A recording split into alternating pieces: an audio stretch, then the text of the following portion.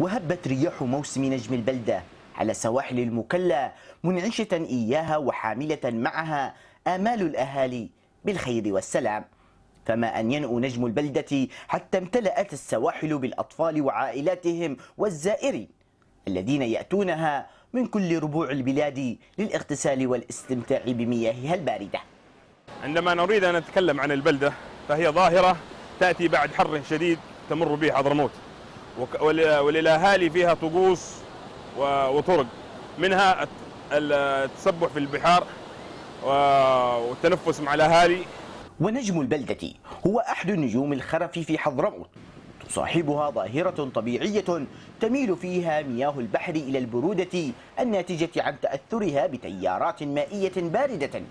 تنطلق من جوار القطب الجنوبي وصولا إلى مواقع معينة على بحر العرب. برودة شديدة وزيادة في الأملاح. نتيجة آه، آه، ذوبان ال- في فصل الصيف يذوب ال- القطب الجنوبي ال- في القطب الجنوبي الثلوج. فهذه التيارات تدفع التيارات هذه الذوبان ويحرص الكثير من أهالي المكلا خصوصا كبار السن. على الاغتسال في المياه الباردة في ساعات الصباح الأولى خلال موسم البلدة؟ اخريون الكبراء السن حقنا الشيوبة يتغسلون ويستفيدون منه. ما شاء الله تبارك الله يعني الام الركب والفاصل والظهر. وليس كبار السن وحدهم من ينتظر هذا النجم للاستفادة من ظواهره بل كذلك الصيادون الذين يعدونه أحد أفضل المواسم لاصطياد أفضل وأجود أنواع الأسماك.